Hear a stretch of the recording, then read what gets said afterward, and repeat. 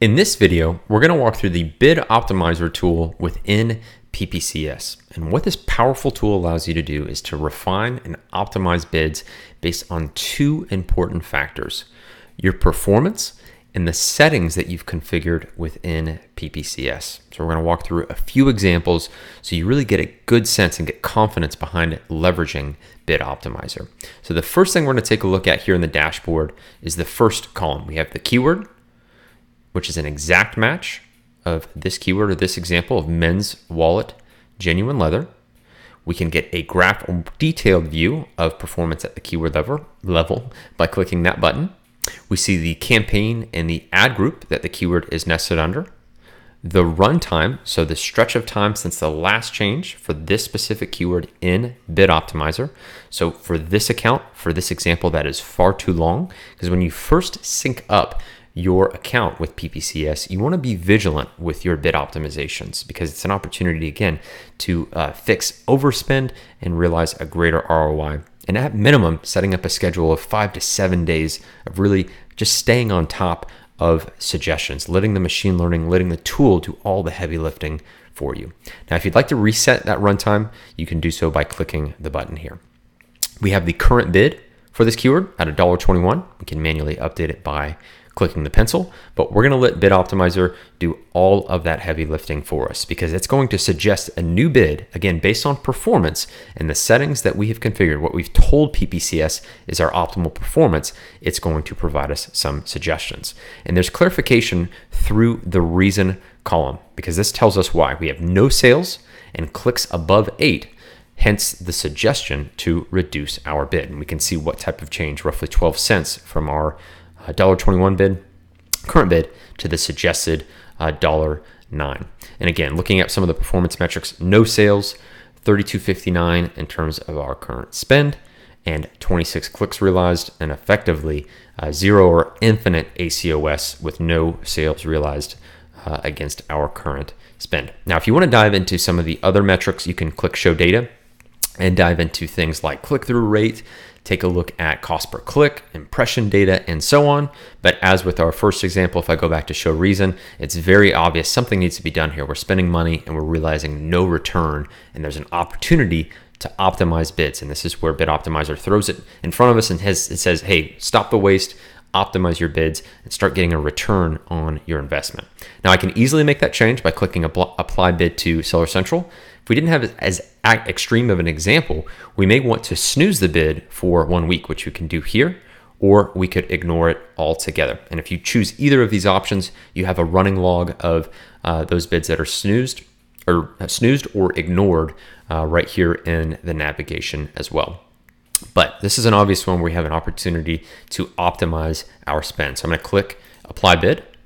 Now, on the off chance you make a mistake or you'd like to undo any changes, simply click the undo button and it's going to uh, represent you that new bid, that suggestion.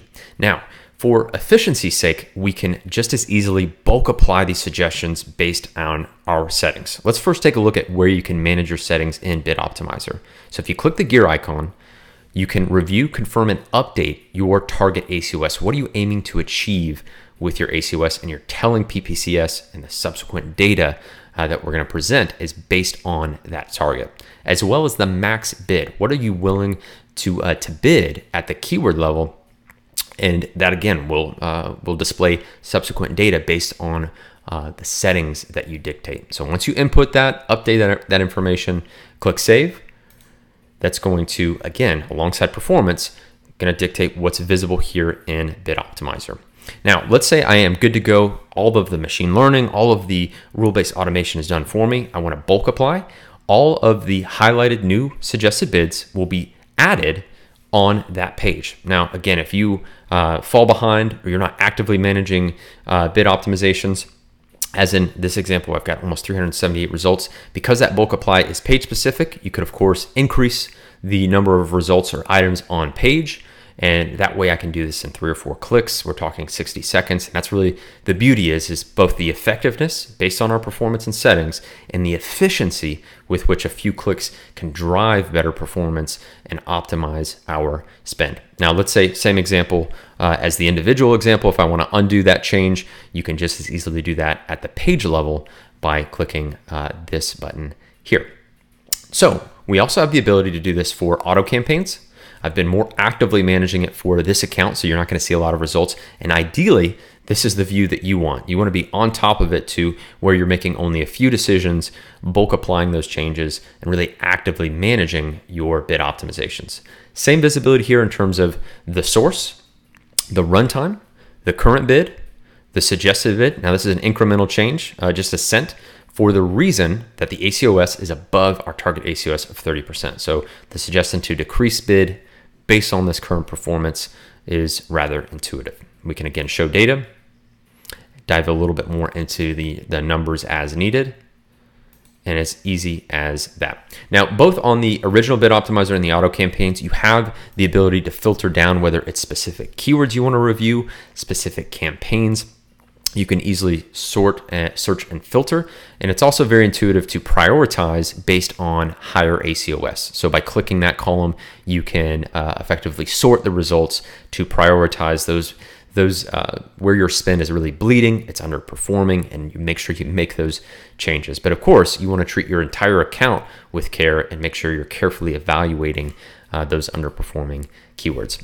Now we've got product targeting functionality here as well as sponsored brands. Same view, um, nothing's changed to where it's very intuitive to knowing what kind of steps you need to take. So as with this top example, taking a look at the keyword, campaign and ad group that it's nested under, the runtime, the bid, and I've come in here and I've already uh, made a change to uh, to a suggested bid based on the uh, reason, and that's good to go. So again, if I'm more actively managing it, I'm going to carefully review in the outset. I think it's important to take your time at the keyword level to get acclimated to the functionality of Bid Optimizer. And then really you can get liberal with bulk applying because that automation comes into play. You're doing your PPC in minutes and you're leveraging uh, that rule based automation to be a very efficient with these very effective steps. And then the last two items again, being able to take a look at those suggestions you've snoozed, so you have running log, as well as those that you've ignored to have visibility there as well. But Bid Optimizer is very powerful